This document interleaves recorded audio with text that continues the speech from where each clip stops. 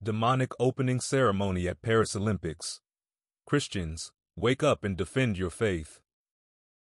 As most of us have heard or witnessed, there was a gross mockery of the Last Supper, an event so central to our Christian faith, at the Paris Olympic opening ceremony. It was so demonic. What was France thinking? A country that gave us saints like St. Catherine of Siena, Vincent de Paul, and St. Francis of Assisi, now chose to mock the very essence of Christianity.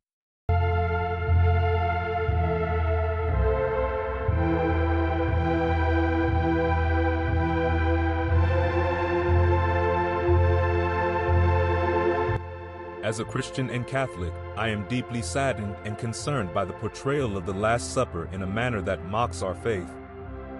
The Last Supper is a sacred event in Christian history, symbolizing Jesus Christ's sacrifice and the establishment of the Holy Eucharist.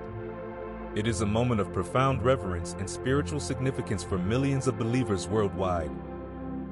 France, with its rich history deeply rooted in Christianity, decided that the right thing to do was to mock the Christian faith in such a public and flippant manner.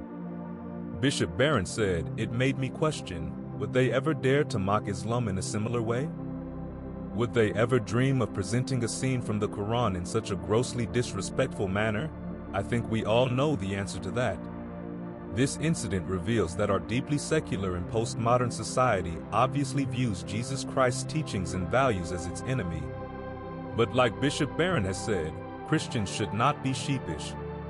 We need to stand up and make our voices heard. We need to resist and defend our faith with courage and conviction. And pray for God's intervention and for the deliverance of souls that are being led astray by these agents of Lucifer. Mocking such a pivotal event not only disrespects our faith, but plunges our society into deeper darkness if not checked. The fear of God is fundamental for the progress of any society.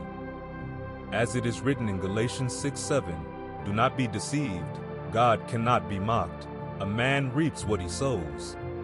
Taking God's name in vain and trivializing sacred symbols can have far reaching impacts, not just on the faithful, but on the moral fabric of society.